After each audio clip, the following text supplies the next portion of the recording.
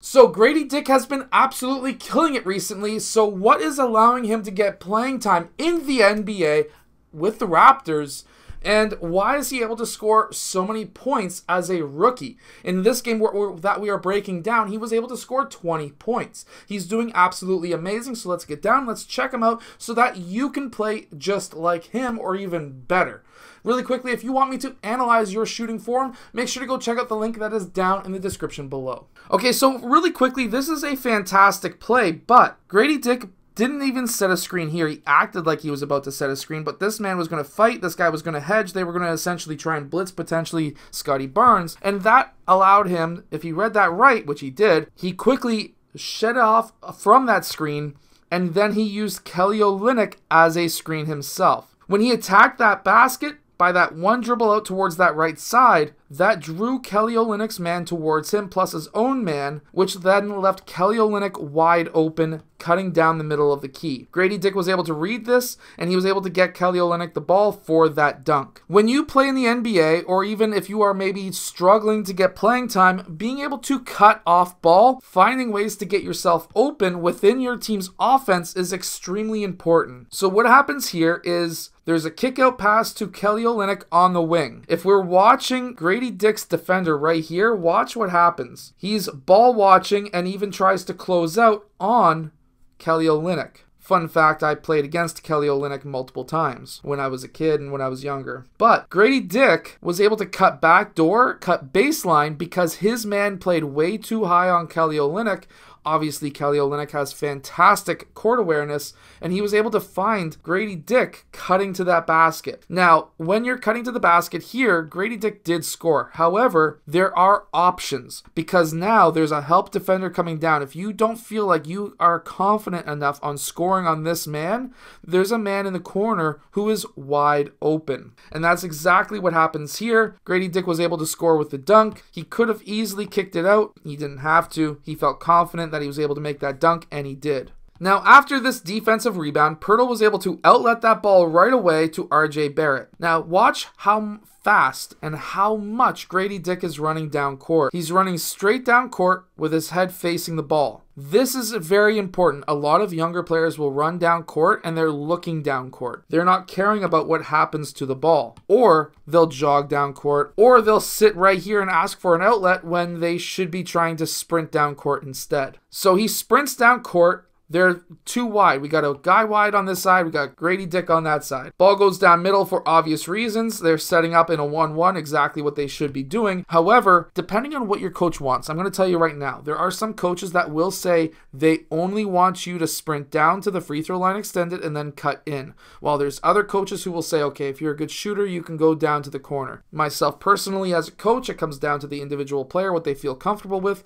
Personally, if it's somebody like Keneal or Ethan or I would prefer them going to the corner because they are very good three point shooters. And if you don't know who those names are, you should check out my short videos on YouTube. But basically, RJ Barrett is able to draw that initial defender. The ball goes out to Gradey Dick on the corner. Player on this side cuts in, which is a fantastic option when somebody pops to the three on the opposite side. And then Gradey Dick is able to hit that three with a guy already getting ready to get that rebound in case Gradey Dick missed his shot, which he didn't because he's a very good three point shooter. Now, this is Gradey Dick in the corner. This is his defender. And being able to read your initial defender is extremely important. And then being able to read all subsequent, uh, subsequent defenders is important too. So here he is coming off the screen. His man goes underneath the screen, and in my opinion, if a man goes underneath the screen, that is telling me that he does not respect my three point shot. And he does, Gradey Dick does look like he's about to potentially shoot it. He's using his defender to his advantage.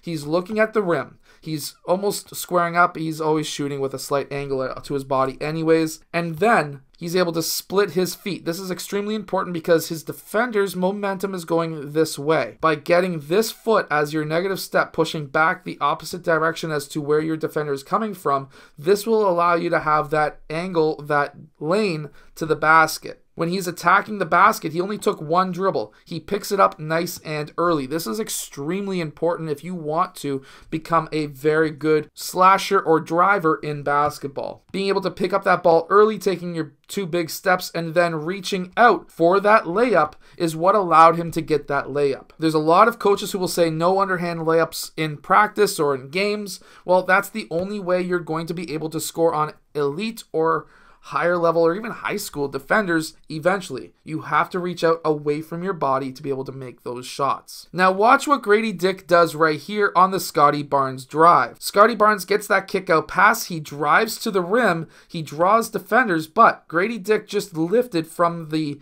corner up towards the wing. He's getting farther away from this defender and this defender. By lifting up, that allows Scottie Barnes to be able to hit him with a pass so that Gradey Dick was able to shoot that three point shot. And while this was slightly contested, Gradey Dick is an NBA player, which means that he's probably taken well over tens of thousands of shots, so he knows exactly how long it's going to take him to get up into the air for this closeout defender. So even though that's contested, it's not really contested in Gradey Dick's eyes. And obviously, this shot did go in. This is actually a really fun horns play. I, I have not seen this on pretty much any team other than the Toronto Raptors. They've ran this a few times. But basically, what you're seeing is Gradey Dick acting in horns like if he's about to set a screen because in horns, this is actually a very good easy play.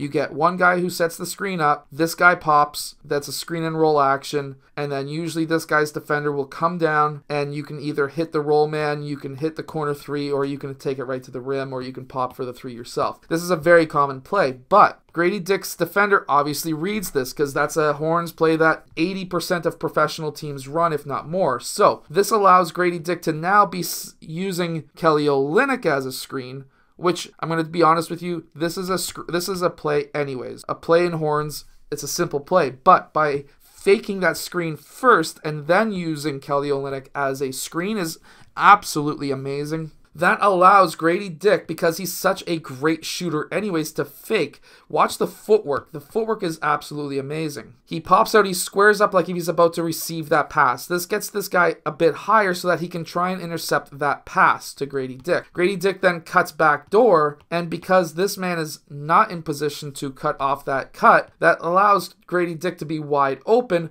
for that reverse alley oop layup. Using plays to your advantage works extremely well. Being able to work off ball while inside of your team's offense is extremely important. If you want to become an elite player, whether just making a college team or just making an NBA team and then making a name for yourself so that you play at a higher level and get paid more potentially, you need to know how to move off ball first because you're not always going to be in the position to be that on ball player.